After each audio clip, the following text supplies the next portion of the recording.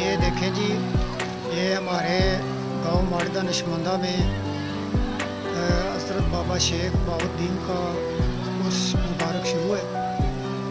तो ये झूले पर आए हुए हैं बच्चे जो है वो इंजॉय कर रहे हैं। इसमें बड़े भी बैठे हुए हैं और ये इधर दुकानें वगैरह लगी हुई हैं सारी।